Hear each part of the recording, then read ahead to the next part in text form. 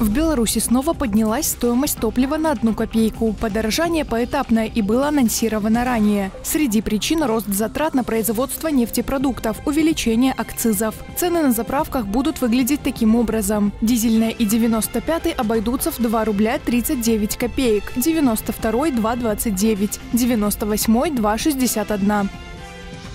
С 10 по 22 июня горячую воду отключат в микрорайонах с 1 по 4, а также по улицам Ульяновская, Михася Лынькова, Орджоникидзе, Шевченко, Рокоссовского. Временные неудобства связаны с проведением планового ремонта теплотрасс БТС. С полным графиком можно ознакомиться на сайте Бобруйского городского исполнительного комитета или на boburlife.by.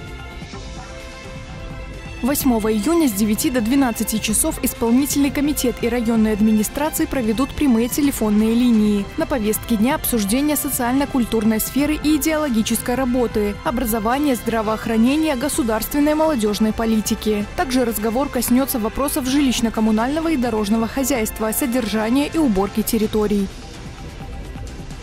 18 июня Управление по труду, занятости и соцзащите проведет электронную ярмарку вакансий. С 10 до 12 соискатели смогут онлайн ознакомиться с предложенными вариантами, условиями труда, а также направить резюме и получить консультацию. Кроме того, активно формируются группы по переквалификации населения.